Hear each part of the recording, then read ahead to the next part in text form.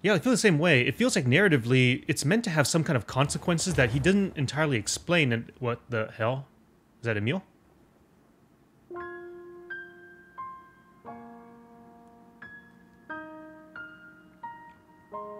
Our journey may have been meaningless. Our past may have been a mistake. But we're not going back. Even if this world comes to an end. Because this... This is the world with the people we cherish. No fucking way. It's a giant lunar tear. If this is the true ending, I'm not gonna lie, I feel like it's slightly disappointing. It's interesting, very interesting, but I think it's slightly disappointing compared to what I thought I was in store for after playing Automata. I think the big issue with this is probably that you should have been playing as Kaine the entire time. Like the main scenario should have been Kaine, and then maybe the alternate scenarios, the alternate um, endings, B, C, and D, was where you start to shift between the NieR guy's perspective and then also Emil's perspective, perhaps. It feels like it's promising you a lot. Almost like this game narratively was like written by someone trying to emulate Taro more than him himself.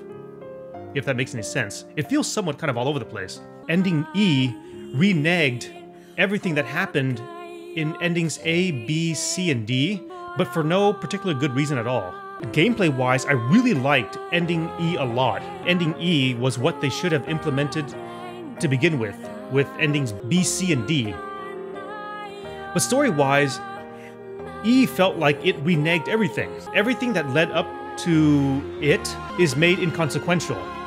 Because what made Automata so great was that every single ending from A all the way up to E, it was a steady progression and a final, well deserved climax of deleting all your data.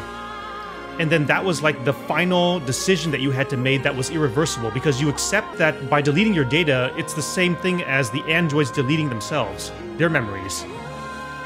But here it felt like, well, we know that players are probably going to be pissed off at us if we truly did delete their data. So let's find some way to go backwards on all that, all the sacrifice didn't really matter. I mean, the strengths of Nier is that I think it's in its lore. It's truly in its lore, and if that lore is presented in the story, the main story, correctly, in the right order, and revealing it at the right time, then the story unfolds beautifully. I think Taro's his strength, his real strength, is in how crazy his lore is and how it all ties together, ultimately in the end. It's almost like he wrote out the lore in a chronological book, in an almanac, and then the stories are just designed to facilitate that lore. And if it works, if it's all presented well, if the story escalates, if everything leads up to a satisfying conclusion, then it works beautifully. However, when it doesn't work, then it's skating on thin ice and it's somewhat confusing.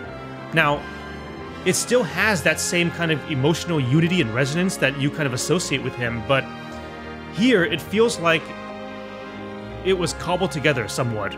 Like it's interesting lore, but it doesn't add up. It doesn't quite all fit. I really feel this should have been, oh, this is, what is this? Some, a hash? What is that, like a cryptographic hash? Was that a Bitcoin address? What was that? A parting greeting has been added to the options menu. Ooh. How would I rate this game? I think it's a great game. I just think that it feels like a Taro copycat game. It feels like someone had seen Automata and how great it was, and then they tried to copy it using his lore. It, like they didn't quite execute on the level that I think he was truly capable of. For those of you who read the Game of Thrones books, it feels like Automata was the first three Game of Thrones, A Storm of Swords, A Clash of Kings, and then this game feels like a Feast of Crows and a Dance of Dragons. He passed this over to someone else, and gave him the lore and here's my style and remains as like the the overall creative voice that kind of gives it the green light. What do I think didn't fit? Uh, scenarios A, then B, then C slash D. They led up to I think where Automata was going to start. The thing with Emil after he blew himself up at the end of ending B or C, and then you saw his head drifting along the sands, and then he's saying like, "Oh, now I have to find a new body or at least some legs." And so I thought that, oh, that's going to lead into Automata, right? That's where uh, Emil's story picks up in Automata. And then all of a sudden in E, it's like they went backwards on that. Emil suddenly shows up. Kaine enters that very NieR Automata world.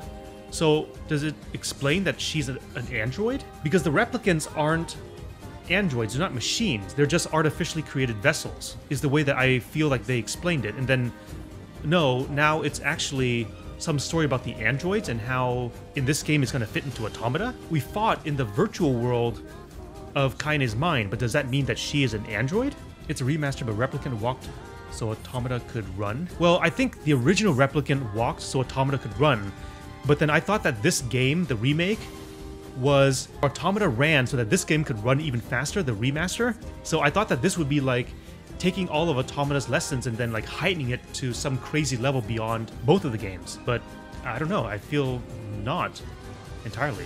Here's what I think they could have done. They could have reconceptualized it by having you play as Kaine mainly in the A scenario because you saw from the B and the C and the D and even the E scenarios that it's clearly the case that Kaine is the focus of where we want our emotions to be pinned on.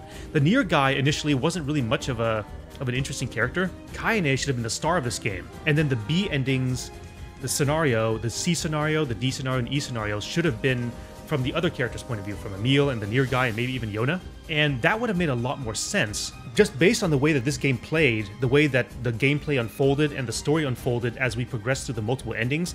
It feels like what they probably should have done was find some way to make Kaine or make the core theme fit with having Kaine as the main character. As we progressed more into the B and C and D and E endings, the NieR guy felt like less of a significant part of this game. He was really only significant in explaining how the lore of the game works, but then beyond that, he served really no story purpose that couldn't have also been filled with Kaine. That's why I think that this game should not have been a remaster, it should have been a true remake. It should have been a reconceptualizing of the original NieR game, and it probably would have worked a lot better. His dynamic with the Shadow Lord wouldn't have worked. Well, with that NieR guy and the Shadow Lord, the whole purpose of that was to deliver the context that here's the replicants, here's the gestalted souls, and this is how the lore of this game works. Right? You could have explained the same lore with the replicants and the gestalted shades, the gestalted souls, with Kaine as well. You can still incorporate the NieR guy story and Yona's story and everything, I'm just saying that probably should have been like a scenario B or scenario C. And it would have worked even better, I think. And I really wish that they had done with scenario B, C, and D what they did with scenario E, where they truly gave you a different character perspective and then filled in the blanks. It feels like the main focus is Kaine. Or it feels like they wanted to make the main focus Kaine, because so much so much of the alternate scenarios were so focused on Kaine, and even in the main scenario A, is it even the same character anymore? It can be. I mean, I'm just saying that nothing about Kaine's character needs to change. I'm not saying just switch the NieR guy with Kaine and then have the exact same story.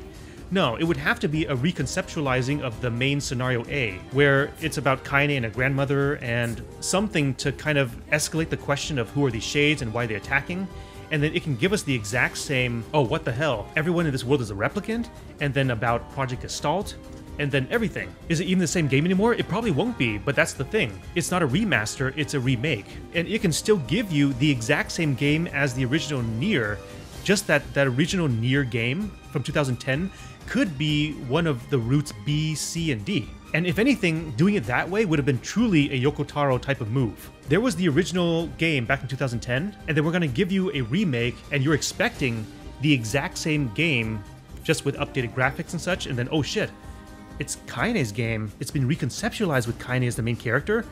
And then when you play endings B or C or D, or maybe even ending E, and then you realize, oh shoot, this E scenario this is the original game that was back in 2010, and then you're playing it from the NieR guy's point of view. Is there a way that they can reconceptualize part one that, yes, it's not going to clearly be the part one that you remembered from the original game, but it would work better based on what they're trying to do. And then if you still wanted all the stuff with the Nier guy and Yona, that could still be in the game. Like overall, I'd still give this game like a, you know, like a solid eight, eight and a half out of 10.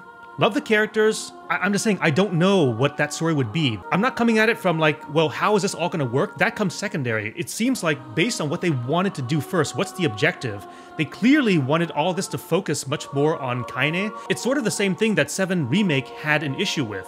Like, they knew that based on the original game, there were certain iconic moments and characters that the fans loved and knew and they wanted to bring that back in the game. And so they're enhancing and focusing on the Zack stuff and the Wutai stuff and the Yuffie stuff and the, the Honeybee Inn and the Golden Saucer. Well, I think what happened was that in the original game, they found out that, oh, people really resonated with Kaine. And so now we want to focus more on her because she's such a highlight of the game. But that kind of runs counter to doing this as a remaster. I think overall, what probably seems to be the key issue here is that this should have been a remake instead of a remaster. And then, based on those objectives, they could have somehow come up with different, you know, a completely different story. You'd have to figure out what what is the world that she lives in? What are her motivations? What is her goal? What are the stakes? I think that would have been a way more interesting game. It would have been a different game, but I think it would have been a far more interesting game. And if anything, it would have given me more motivation to go back and play the original 2010 NieR Replicant. By doing the story from that point of view, it would have solved so many problems that I'm sensing with this game. But overall, yeah, I still think it's a great game. I think the characters are far more charming than the ones in Automata. I feel like the lore, the implications of the lore in this game are far more interesting than Automata. But in terms of the presentation, though, I would say that Automata is the far more polished execution. This game, if I gave it an 8 or an 8.5, if they had reconceptualized it that way, I think potentially it could have been just as amazing as Automata and had the same crazy meta narrative as Automata of like Taro totally fucking with our minds. You recommend reading the Grimoire Noir companion novel? It delves more into the lore and tells short stories from the other characters. I think this game, similar to uh, Final Fantasy VII, I think the lore is where the strength truly is. It's not necessarily even in the story and even in the individual characters, but it's the lore that is so fascinating and the way that it tells that lore through its characters and its individual stories is what truly shines, which is what I felt like Automata did so well. And where I felt like this game, it did well at certain points, but it feels somewhat sloppy. It feels like it wants to tell a certain amount of lore, but it couldn't quite figure out how to make it fit into an actual cohesive story. It goes back to Drakengard. I think this is the way that Taro works he came up with the lore first. He didn't come up with the stories, he came up with the lore first, the world, the verse. And he wrote it very much like a historian, like an almanac. Here's what happens in this year, here's why it happened, here's why it matters. And he wrote all of that out. And then all this time, from Drakengard to NieR Replicant to NieR Automata, and then back to NieR Replicant Remake, he's trying to find stories to fit that lore. By writing out all the lore and the almanac kind of style, you pretty much have written the ending already. And now you're trying to find the story and the games that will fit that lore, that will allow you to best convey that lore that you want to get out. And Automata did it beautifully, and here it stumbled, but then the lore itself is still very interesting, if that makes any sense. I am utterly fascinated with his lore. The lore really fits in a way that is totally unique just to him. And he's also very good at how do I make this lore matter? How do I make this lore emotionally resonate with the audience? And all of the characters and the story and the events in the world that uh, of the individual games, it's secondary to that. And that's probably one of the things that makes his games so uh, fascinating to learn more about. But just on a game by game basis and on an execution basis, yes, sometimes obviously he can stumble a little bit where he's trying to get out certain amounts of lore that is super interesting, but he's just got to find the right story and the right format to put it in.